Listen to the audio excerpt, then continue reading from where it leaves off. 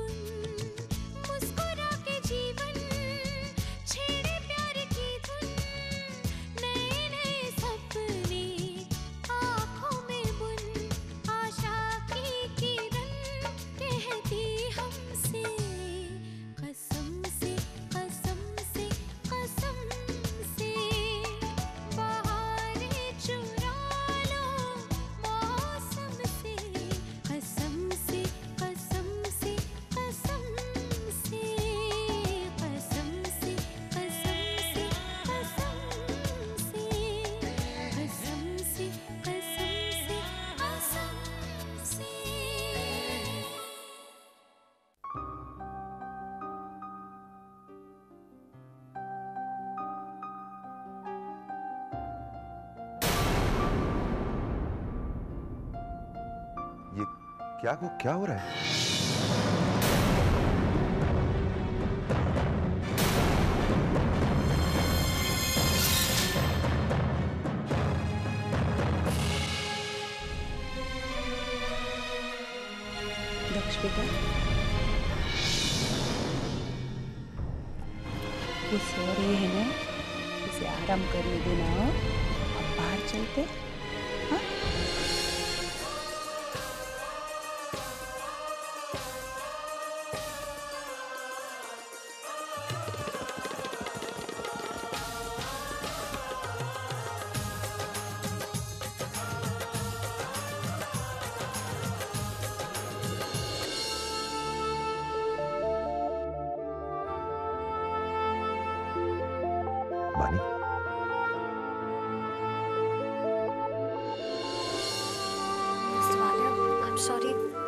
आँख लग गई थी। कोई बात नहीं। चल। हाँ। पर दक्ष कहाँ है? उसे कला जी अपने साथ वरना वो तुम्हें जाने नहीं देती। हाँ।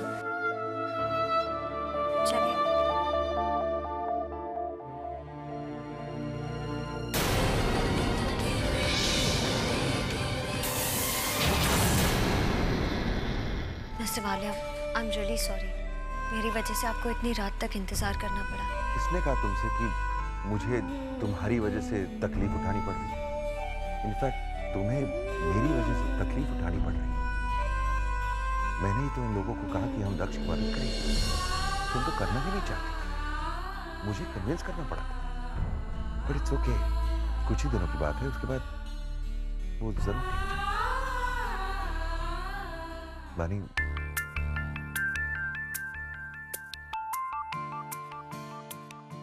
ये तुम्हारे लिए।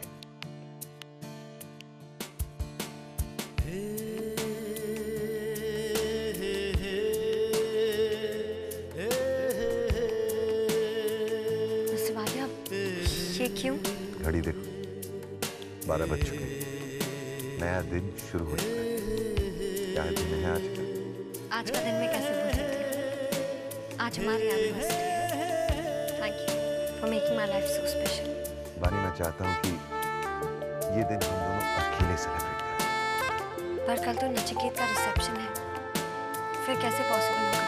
मैंने सारा इंतज़ाम कर दिया। रिसेप्शन की सारी तैयारी हो चुकी है।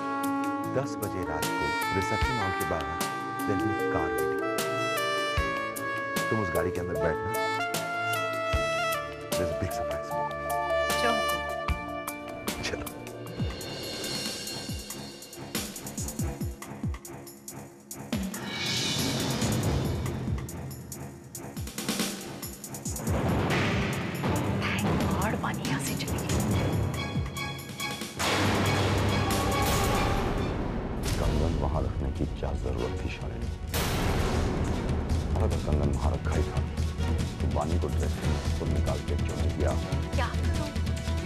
जल्दबाजी में कुछ ख्याल ही नहीं? रहा फिर भी शालिनी तुम्हें वो कंगन वहीं छुपा के रखना चाहिए था जहाँ हमने बाकी सब कुछ छुपा के रखा देखिए जो कुछ हुआ है वो तो लौटाया नहीं जा सकता।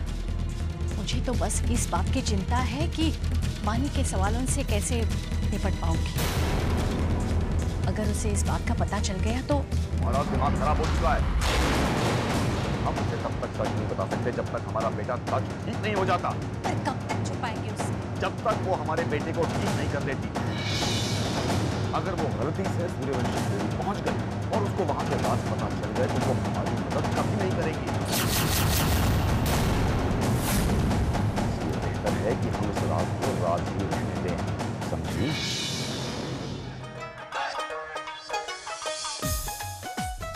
देखो बच्चों, इस परात में एक अंगूठी डाली गई और तीनों को हाथ डालकर अंगूठी को बाहर निकालना है। जिसके हाथ में अंगूठी थी ना, बस, उसका दबदबा नचिकेत तुम तो जानते ही हो कि जय भैया हारे थे, उसके बाद रणवीर हारा है। मेरे भाई नचिकेत कम से कम इस बार तुम जीत जाना। वाला खानदान की लाज रखना प्लीज़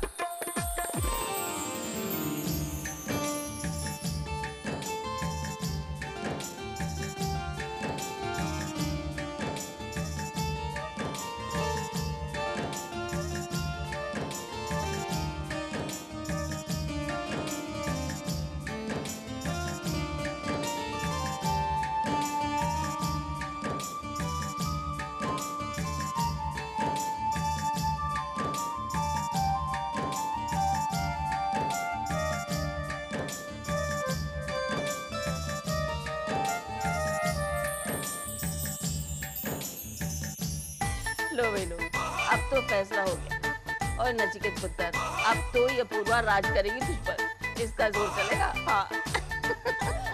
अरे सॉरी नचिकेत, अब तो तुझे बहू का ही कहना मानना पड़ेगा सारी ज़िंदगी।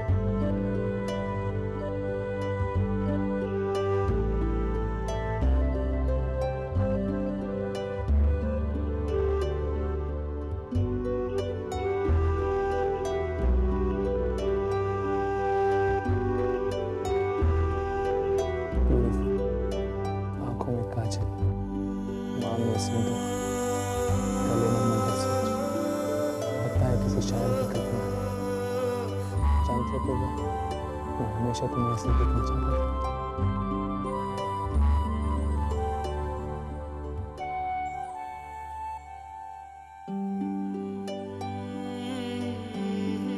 आज के बाद इन आँखों से टपके आँसू को ज़मीन पर गिरने से पहले इन होठों पर रोक कर तुम्हारी मुस्कुराहट बना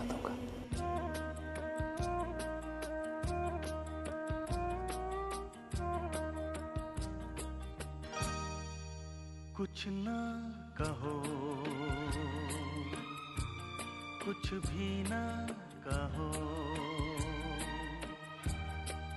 कुछ ना कहो। कुछ भी ना कहो। क्या कहना है? क्या सुनना है?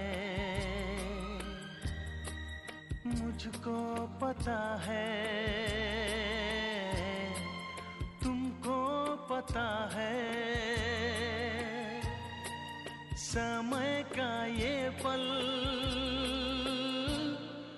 थमसा गया है।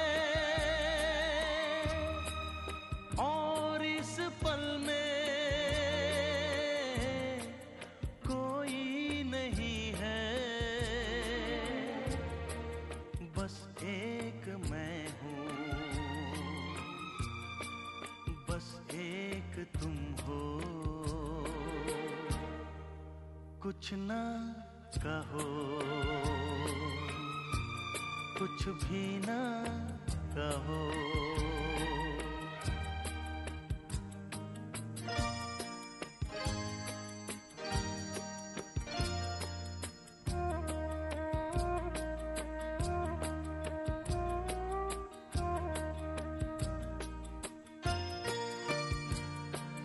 कितने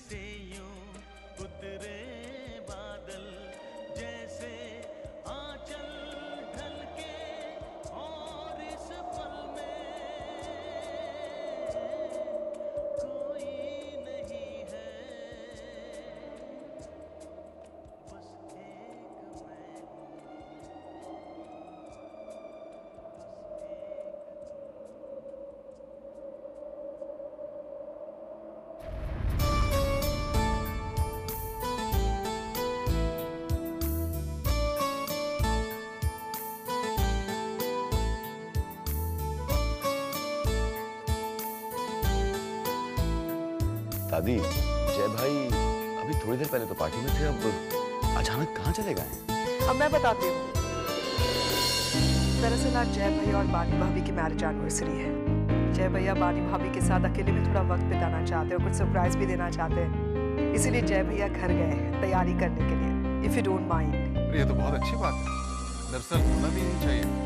हम लोग तो बेकार में ही एक सालगिरह जैसे फ़ंक्शन को सोशल फ़ंक्शन बना देते हैं। शुड बी एब्सोल्युटली बस वेल मैं मिस्टर को फ़ोन करके बोलता हूँ वानी के साथ आराम से वक्त बिताएँ, हम यहाँ सब संभाल लेंगे एंजॉय ज़रूर।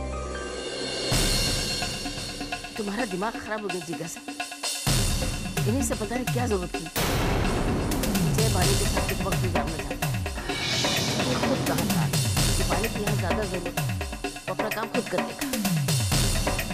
धनराज को उससे बताकर तुम्हें देखी खुशियाँ जी तुमसे किसी की खुशियाँ बर्दाश्त नहीं होती है? खुशी? कौन सी खुशी माजी आपको क्या लग रहा है? ये जो कुछ भी हो रहा है वो सही हो रहा है? आपको इसमें खुशी मिल रही होगी हमें नहीं मिल रही बानी का उस पागल लड़के के साथ वक्त बिताना मुझे बिल्कुल पसंद नहीं आ रहा। आपको नाचने गाने का शौक है हर एक को नहीं है। खुशी आप मनाइए हम नहीं। कुछ भी बोलती रहती हो। आंटी ओह नो मैं इसके सामने मुझे इसे अवॉइड करना ही। नहीं तो ये मुझे यही सवाल पूछना शुरू कर देगी। थी। हाँ हाँ पर तुम इनसे नहीं मिलोगी। ये है मिसेस सरदेसाई मिसेस गुप्ता और ये है बानी वालिया मिस्टर जय वालिया की वाइफ वाओ सो बानी मस्ट बी रियल हैप्पी ना? आखिर मिस्टर वालिया जैसे टाइकून की वाइफ हो।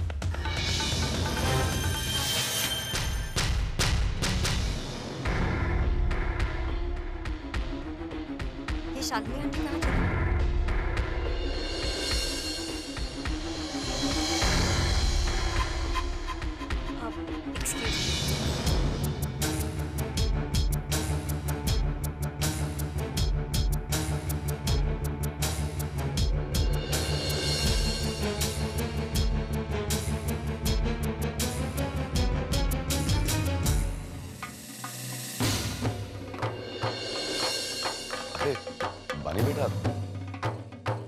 क्या कर रही हो?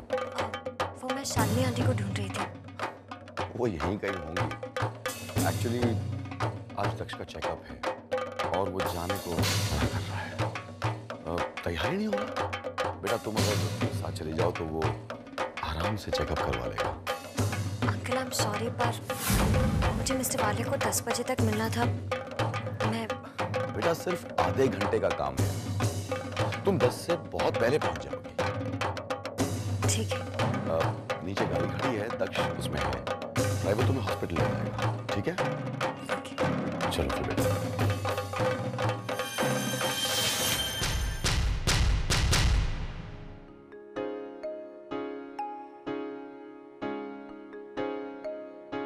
सारी तैयारियाँ हो चुकी है ना? यस सर जैसा आपने कहा था सब रेडी है सर बस आपकी बात का इंतज़ार है। गुड और आप लोगों को याद है कि कौन सा गाना बजाना है? यस सर ठीक है जैसे वो आएगी आप लोग गाना बजाना शुरू कर देना please sir don't mind but आप ज़्यादा नर्वस लग रही हैं। हाँ वो वो क्या है ना कि मैं चाहता हूँ कि आज की रात हम दोनों हमेशा याद रखें इसलिए। डोंट वरी सर फिर आप आप नहीं भूलेंगे। ये हमारा वादा है।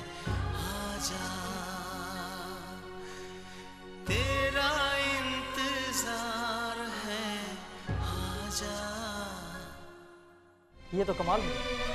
इट्स रियली ग्रेट इम्प्रूवमेंट अपनी दवा टाइम पर ले रहे हैं। इट्स वेरी गुड अगर ऐसे ही ग्रोथ रहा तो दक्ष बहुत जल्दी ठीक हो जाएँगे। जस्ट मेक श्योर कि अपनी दवा टाइम पर लें।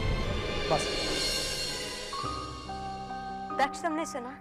तुम बहुत जल्दी ठीक हो जाओगे। Thank you so much doctor welcome चले।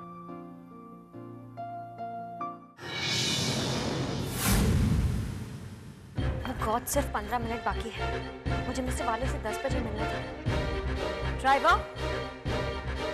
ड्राइवर? वो अभी ड्राइवर कहाँ चला गया? दक्ष, तुम प्लीज़ यहीं रुको। मैं ड्राइवर को ढूंढ कर लाती हूँ।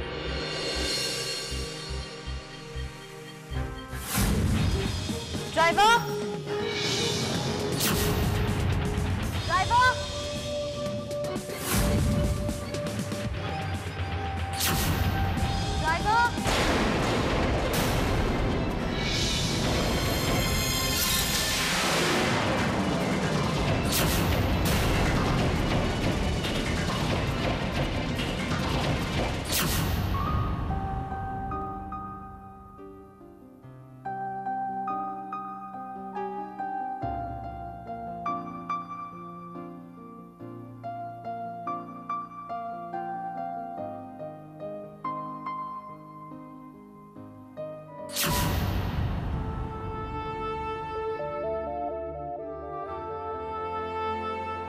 दस बज गए। वानी आती होगी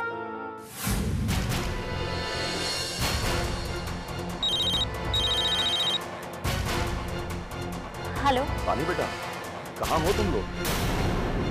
देर हो गई अब तक। नहीं बेटा अंकल अंकल एक एक प्रॉब्लम आ गई है। आप हम लोग जब हॉस्पिटल से निकले थे ना तो अचानक वो ड्राइवर नहीं मिला हमें। और उसके बाद?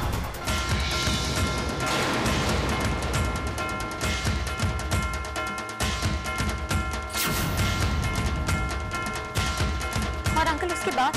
जब मैंने आँखें खोली तो मैं मैं आपकी सूर्यवंशी हवेली के सामने थी।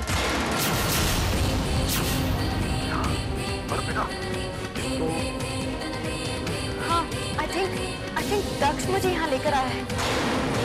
मगर दक्ष भी मुझे कहीं नहीं नज़र आ रहा। है मैं मैं दक्ष को ढूंढती हूँ और जितना जल्दी हो सके हम लोग वापस आ जाते हैं बाय क्या कर रहा है? पानी और दक्ष कहाँ है? मैं हॉस्पिटल के बाहर ही उनका वेट कर रहा था। तो मैंने सोचा कि पान की दुकान तक चला जाता हूँ। और जब मैं वापस आके देखता हूँ ना वहाँ पर कार थी और ना ही दक्ष बाबा। और बानी मैडम भी नहीं तो मैंने सोचा कि ये लोग कार लेकर चले गए और घर वापस आ गए।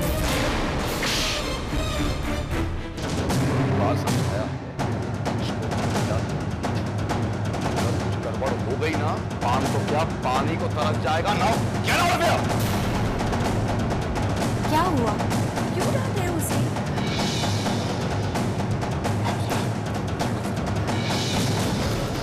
सब कुछ खत्म हो गया है। रहे आप क्या खत्म हो गया? सब कुछ पता चल जाएगा हम उसे छुपा पाएँगे। क्या हुआ? कुछ बताएँगे भी आप मुझे? पानी सूर्यवंशी हवेली के बाहर पहुँच गई है। और उसे हमारा दक्ष लेकर के गया है। हे भगवान अगर वो उस हवेली में चली गई तो गजब हो जाएगा। हमें उसे वहाँ जाने से रोकना होगा।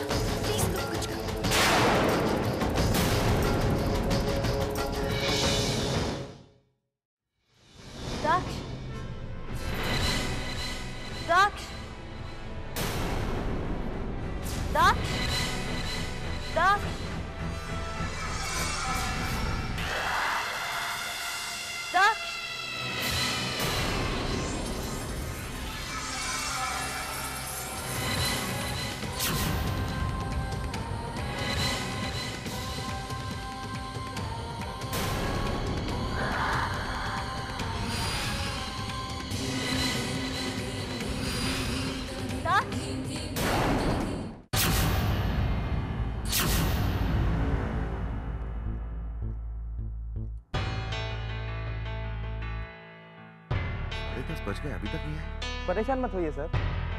मैडम शायद ट्रैफ़िक में फंस गई होगी। जब तक के लिए आपके लिए शैंपेन लाऊं sir? No thank okay sir